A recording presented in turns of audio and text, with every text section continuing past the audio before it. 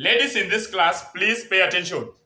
If your man is cheating on you, just go to the kitchen, boil water. Let the water boil. Boil it and boil it and boil it. Give it enough time to boil.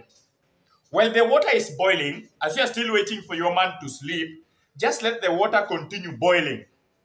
When you are now sure that your man is asleep, go back to the kitchen where the water was boiling. Make some tea and drink. Tea reduces stress. Stop crying.